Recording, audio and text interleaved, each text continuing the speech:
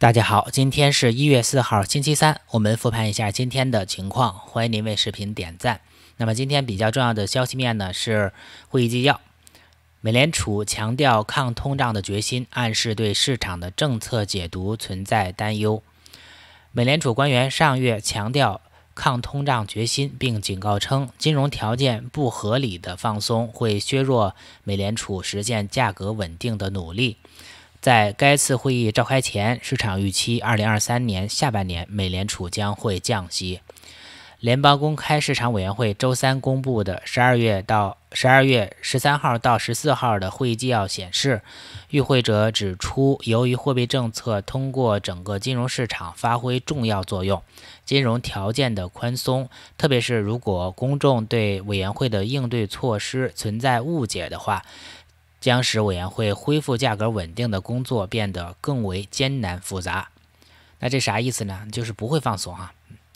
美联储官员在十二月会议纪要上啊会议上呢，将基准啊利率提高零点五个百分点，同时还发布了新的预测。其中的鹰派基调表明，二零二三年加息次数将超过投资者的预期。会议纪要显示，即使存在失业率上升和增长放缓风险，美联储官员仍然决心将通胀率拉回至百分之二的目标水平。会议纪要上称，预计未来一年国内私营领域的实际支出增长乏力，全球经济前景低迷，金融环境这个持续紧张。被视为实际经济活动基线预测面临的下行风险。十九位官员中有十七位预计今年将加息至百分之五点一或更高。相比之下，美联储九月会议中没有一位官员预计二零二三年利率会高于百分之五。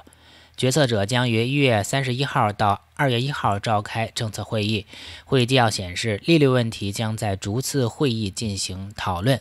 嗯，我们看第二段，有十七个人哈，十九个人里边有十七个说可能要加息到百分之五点一，甚至更高的水平哈。而且呢啊，应该是要维持在一个相对高位，长时间的维持哈。而且我们上次说过啊，对于鲍威尔的讲话，这个利率呀，它不一定啊。到什么位置，对吧？它没准儿，因为它是根据市场的情况来调整它的计划的，对吧？但是啊，这个是什么意思呢？他没有计划往低调啊，就是 近期他没有表明把这个数啊不加了啊。首先不加息了，这不可能哈。其次啊，把这个数变变成更更小的数，也不大现实哈。所以这是接接下来几个月我们要面临的一个真实情况，就是比较更为宽呃更为紧缩的一种啊货币环境哈。啊，但鉴于此次会议后面，没有什么实质性的一个加息动作，所以这次呢，呃，确实对市场有一些影响，但影响并不是很剧烈哈。好，我们看一下今天大盘的表现。那么今天呢，由于有这样的一个会议纪要要发布哈，但是本质上也没有太多的一个变化哈，啊，所以市场呢倾向于完成了一个横盘的震荡。运动状态，那么标普百指数呢？今天收涨百分之零点七三左右。我们看到比昨天的 K 线要小一些啊，表明今天的多空双方都还是比较谨慎的。那么在日线图上，我个人是感受它仍旧维持在一个相对横盘的运动状态。我们今天盘前啊，对市场短线的一个解读呢，就是假设啊，它继续维持这样的一个震荡状态，直到它去突破上边沿或者是下边沿。也就是说，支撑或阻力区的时候呢，我们说啊，它要么就是恢复到多头波段了，要不就是继续空头哈。那当前这个 K 线呢，从逻辑上看，并没有选出方向啊，因为横盘时间太久了哈，所以空头呢也没有啊办法把它弄下去。所以我们的基本原理呢，就是假设它继续震荡。我们看一下四小时图，嗯，果然哈，看到图之后啊，大家感到啊，今天实际上呢，跟昨天的行情类似啊。都是反反复复的震荡，只不过呢，今天啊，这个美股下午盘呢，啊，有一个货币政策会议纪要的一个发布啊，那这个会议纪要呢，造成了两根啊四小时图的一个十字星线，那目前还在博弈的过程中，那目前我们仍旧应该假设下行的概率会略高一点点啊，但是在下行之前维持震荡状态的概率呢，还是有的。说它恢复到多头有没有可能？也有可能哈。我们之前说过，在四千点一带哈，它有可能要再测试测试哈。啊，但是这个多头呢，好像意图也不是很强烈啊。多头的意图也不是很强烈啊。今天这根 K 线甚至连昨天的 K 线的高点都没有去向上突破啊。我们仔细看一眼，是吧？昨天的高点在这儿啊，那今天高点甚至都没有上去哈。这说明啊，多头其实它也比较犹豫哈，比较犹豫。那空头也没有下来哈，那可能啊，呃，有其他的考虑吧啊，或者说啊，这个啊。多空双方啊都在建仓还是观望啊，反正维持这样的一种基本的一个状态。那今天的纳指呢反弹的力度并不是很大啊，只有百分之零点五三啊，那它应该也是一个窄幅震荡的一个状态，对吧？说明多头啊也不是特别有信心。我们看一下四小时图，嗯，今天呢也是在这里继续震荡啊。我们之前画这趋势线呢，其实都被不断的拓展了。但是多头呢也不是很强啊，因此我们可以先删掉一下，先看一下近期对于这个震荡区间的一个向上或向下的一个突破情况。那这个呢就是啊大盘的一个呃状态啊，大盘的一个状态。那么在日线图上，我个人感受到的是啊这个多头的犹豫哈，多头的犹豫。好，我们看一下道指，道指今天反弹的力度并不是很强烈哈。道指啊，道指在这儿，啊，上涨百分之零点三六。我们看到一根横盘的是 K 线啊，横盘的 K 线啊。那么对横盘的态度，我们还是我个人还是保持一致的一个思路。那今天反弹力度稍微大一点的是罗素哈，它罗素呢，它其实它也是一个震荡哈，它本身的 K 线呢跟左边这些 K 线都差不多，它今天这 K 线也比昨天的 K 线的高低点呢都啊要低一些，或者是。啊，高一点啊，也就是说被包含在昨天这根 K 线内部啊，所以这是一个什么状态？应该还是属于震荡的一个状态。所以呢，我们还是维持震荡短线啊，或者是日内交易者应该按照震荡的思路再先去预期。那么波段交易者呢，恐怕还是要继续等，继续看哪一方究竟能够呃对呃未来可能的一个方向做出一个选择。呃，你说这大资金就这么悬着悬而不决吗？未必哈，可能接下来比如说。都都都有可能哈，也不要完全说确定哪一个数据哈，这不一定。那没数据的时候，K 线也在动哈，所以大家也不要刻板的说一定会怎么样，说不定哈，这个明天就给出一个比较明显的动作啊。好，我们看一下。原油，那么今天原油继续延续了强劲的下跌走势，下跌百分之四点八，当前的价格是七十三块二毛三。我们看到一根强劲的阴线哈。那昨天盘后呢，注意是昨天的盘后呢，我们复盘说，呃，要看新的交易时段反弹的力度，力度不强，继续去空是吧？那么今天很显然收收盘的时候，就是也就是现在呢，咱们再看这根 K 线，感觉到这个空头还是相当的强劲哈。我们看一下四小时图。嗯，虽然我个人不愿意去追空哈，但是这个这也太直勾勾的下行了哈，所以呃，接下来我们要看它反弹的一个情况，还是不能去追空哈。那昨天盘后是一个建做建仓做空的一个好时机，包括昨天啊美股这个下午盘，包括盘后啊反弹无力继续去做啊。那么没有仓位的，我个人觉得今天啊不能应该去追空哈，因为你也想不到它一天会暴跌百分之四点八哈。一般情况下，暴跌个百分之二、百分之三的就差不多啊。所以我个人今天在盘前是觉得应该给一个弱势的反弹再去空。那现在这种美股时段又给出了三根四小时的小阴线哈，所以现在再去追也不行哈，不能去追空哈，还是这个思路啊，我们宁可谨慎一点。好，那接下来呢，我们啊对这个图呢需要到明天盘前再去判断了啊。那么现在呢还是空头在拿好仓位啊，没有仓位的继续等待新的一轮做多或者是做空的一个机会。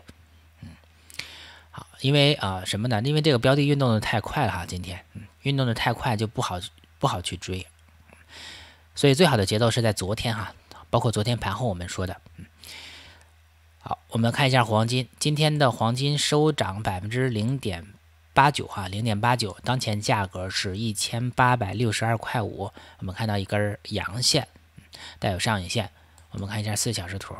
那今天美股时段呢是给出了一个回落啊，那么现在最新的一根四小时 K 线，实际上又啊对啊这个支撑区呢有所反应啊，有所反弹。那估计呢要再次测试一下今天形成的日内高点啊，对吧？下一个交易时段看看能不能啊测上去，不能测上去，继续就可以进进行做一个短空的一个交易啊。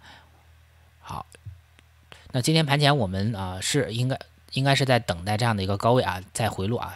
说可以去做一个短空哈。那么接下来可以继续再等啊，看看能不能再给一个短空。嗯，好，这个是黄金，嗯，黄金啊走的还挺陡峭哈。嗯，这黄金这东西啊，真的是呃概率性的东西啊。好，我们看一下今天市场的一个表现。我们先看我们这些标的吧。嗯，把右侧打开哈。呃，第一个标的是 IOT，那今天在我的列表里是领涨，上涨百分之十五左右。那这样的一个涨幅呢，啊，首先呢不可能提前预预知哈，其次呢它应该是对这个低点的一个反弹测试啊，或者说这个低点的一个反弹测试。这两个低点的一个反弹测试，那接下来呢，估计会有所反应。我们右侧的真正的右侧交易者是不会在这里贸然的去抄个底的啊啊，那这个涨呢，肯定是呃有一定的关系啊，会引起呃会引起我们的关注啊，但是啊，能不能形成真正的右侧底呢？啊还不清楚哈，因为之前这些反弹都是很强的哈，大家看这上边反弹力度都是啊，像今天这种 K 线这种水平，或者是更高的这种。反弹，但整体的空头态势还没有彻底的改变，因此我们应该至少等待这根下跌趋势线的右侧再去布局，好吧？这是 IOT，只能说啊，今天引起了我们的关注。有人说啊，这要是抄到最好最低的底，这一天一天就赚这么多啊？那如果具备这种能力的话，那右侧分析就没有必要了，对吧？右侧交易者实际上是他需要看到更。更安稳的、更稳定的一个止跌信号之后，它才去慢慢的布局，做一些新的波段哈，而不是在一些啊下跌过程中啊出现阴线，特别是昨天是阴线的时候，就直接就去抄底了，这个风险是很高的哈。大家看之前出现这些阴线，也有一些阳线，但是随后又落了哈，落下来对吧？也是有可能，即便是涨上去还有可能下啊。所以呢，我们右侧交易者是比较稳定稳健的。那么今天的中概股呢，再次也是领涨吧，也不能说领涨，反正就是没跌。我们看一下小鹏汽车，嗯，呃，我们对小鹏汽车的态度呢是啊，按照啊这个阶梯啊，就是阶梯性质的震荡上行的一个思路在看，拉升回落，拉升回落啊，拉升，是吧？呃，对理想汽车也是这么看的吧？啊，那么今天啊比较出人意料的是谁呀？蔚来汽车哈，我们看一下，蔚来汽车上涨百分之十点三八哈，那这样的话，它应该是对指底部支撑区的一个反弹啊。啊，但是按照我们的技术分析呢，我们的下跌趋势线还是有效的啊，因此呢，还可以继续等待右侧点位，对吧？下方的日线图还是一个死叉的哈，所以应该会有所回落。就是说，接下来一到两个交易日突破上去回踩，应该还是要给一下的哈，或者是一当天要完成一个带下影线的平板啊，之后呢，再可以慢慢减仓，也可以不做哈，这个说不准。你看之前这些震荡，它也不一定涨多高哈。好，这是中概股。好，我们看一下八八哈，今天的八八大幅领涨，上涨百分之十三左右。那我们对于多头趋势线，我们的思路是正确的哈。什么思路？就是之前有过左侧逆势抄底的交易者呢，如果你有仓位的话，可以拿一拿，底线放在我们的趋势线这儿哈。没有仓位的是不可以去追多的。那么今天属于跳空高开，随后就涨了这么一截儿。虽然全天收涨百分之十二点九八，但是如果你没有仓位，在今天追涨的话，你最多就赚一半儿哈，因为下方缺口就占了全天涨幅的一半儿，对吧？那如果你弄在高位的话，那不一定能上去呢啊。而且没有仓位的，我们给的思路呢是在给给出一个明显下跌再止跌再去做，对吧？它不可能就直勾勾的一直上行啊，好吧？应该等待右侧的一个回撤哈，右侧还没有，今天属于一个强势突破的一个信号，但突破有时候会有假突破的情形，很多时候都会有啊，呃。对哈，这个思路是对的啊，这有可能是一个上涨高潮哈，此轮反弹的一个高潮浪哈，高潮结束之后就要套人了，开始。好，我们看一下木头姐抄底的 Coin 啊，Coin 和 IOT 啊都是区块链领域哈，或者是加密货币领域啊，对这个领域呢啊，今天都是给出一个像样的反弹，但是从宏观上看啊，从它整体视角来看，当前还是处在相对低的位一个位置哈。这么画趋势线，它应该还在这附近，而且今天的 K 线并不比之前这些典型的大型的 K 线要大很多少，对吧？都差不多的一个大小啊，size 差不多。所以呢，我们还要继续等待筑底的一个情况啊，不要第一时间就是觉得一定会是底啊，有可能哈，我只能说概率在提加提升啊，但是啊，是不是还不清楚。嗯，呃，不知道木头姐有没有在加仓这个啊？没去看啊，没有这新闻。我们再搂一眼这个理想汽车，今天盘前我们是觉得它有可能再往上弹一弹，去测试这个高点，对吧？嗯，好，那么其他的另外两个两辆汽车也是如此，呃，与之对应的还有一个啊，我们按照顺序来吧。那么今天的原油啊，原油是大幅下挫啊，这两天是大幅下挫，所以我们的 SCO 呢做空原油呢是大幅上涨，对吧？但是啊，它整体态势是不是还是震荡啊？还是震荡啊？对吧？所以这个标的呢，我们一直都没有让去做哈，因为不好去把握啊，还不让，还不如去做那个的日内交易呢。那这个呢，直接你直接买的话，就就就这么一节涨幅是吧？今天是跳空啊，所以跳空类的我是不是太不喜欢啊？跳空类的适合做中长线哈，那这个做中长线又做不了这个图是吧？所以我们按照日内交易的思路再去看啊，WTI 原油好吧？嗯，好，呃，我们看一下 AFM，今天也是领涨。嗯，不行。有人说啊，这个还不算见底，不行哈，因为之前这些阴线个儿都比它大哈。嗯，这阳线大也被砸了下来啊。今天这根阳线虽然幅度好像挺大，但对他自己来说并不是很突出哈。而且整个的一个大型下跌趋势线被完全逆转，也不是一两天就能实现的，对吧？这些下跌趋势线还是有效的呢，对吧？嗯，好，这个就是 AFM 的一个宏观视角。Open Open 这个图我们是另有思路哈，那这个图呢，目前还在这这这一块钱附近徘徊吧。我们的技术分析者应该在右侧再去考虑是否抄底啊。好，这个是 Open UPST 看一眼这个图也是网友之前问过，UPST 跟刚才的 Open 有点类似哈，价格当前是十三块八毛七，也没有进入到右侧啊。大家一定要注意这个涨幅大小啊，它并不代表着你一定能赚哈。代表着可能会引起关注啊，也也要看它自身 K 线大小。大家看它 K 线自身 K 线比它大的一多了去了啊，就差就是一个一般的 K 线，所以也不要太乐观啊，对这个图。嗯，好，半导体呢？半导体做多行业指数呢？有人说，你看这个要止跌了吧？嗯，有一点那个迹象哈，但是下方 MACD 还是个死叉，所以呢，我个人更倾向于再走一走，让我们再看一下。有人说它已经建仓了，那你的止损就要放到九块五。或者九块钱一袋，九块五吧。我是觉得这回落好像没有完全彻底结束的感觉啊。嗯，在啊，为什么？因为这还是个死叉哈。大家看下行过程中，这都有啊这种粘合的迹象，但是还是继续下落哈，所以可以再观察一下。嗯，毕竟昨天是大阴线，今天只是一根小阳线啊。对吧？昨天是根大阴线，今天是根小阳线。好，我们看一下 Fubo。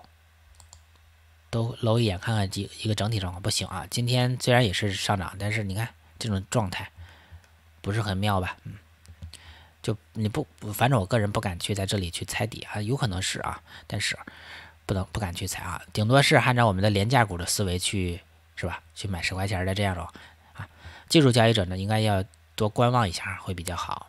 嗯，我们看一下 Shop。啊，Shop 呢维持了一个反弹啊，那这样的话，它应该是在这个下边这两根横线之间震荡，好吧？你愿不愿意做震荡呢？有人说不愿意，那那那就没办法交易啊。那愿意去做震荡的话，那就应该做多哈。假设它在这里震荡，是吧？嗯，好，特斯拉今天上涨百分之五，那实际上呢就是一个反弹了。有人说这个位置有可能是底啊，不确定啊，不确定。我们仔细看，MACD 也是一个死叉。有人说等它形成金叉，它就拉很高了，那也不行哈。为什么？它左侧的空头太强了哈。它上去，我估计有很多要解套的人，会不会有啊？大家觉得呢？咱们宁可相信有吧，不能相信无啊。所以上去之后肯定会有很多解套的，构成抛压哈。所以还会给右侧交易者机会。所以我们还是坚持右侧交易。嗯。而且这个地方我们说过哈，它有可能在第三根横线附近反反反反复复震荡一下，但不一定是真正的底部哈，嗯，是吧？这是特斯拉的一个思路，嗯，呃，那么其他的我们看一下 RBLX，嗯，RBLX 也有点反弹啊，但是仍旧处在这根典型下跌趋势线的下方或者叫趋势线附近。如果你去做的话，你的止损就放在二十就二十六七这种位置啊，然后去做一个反弹。如果不去做也是 OK 的。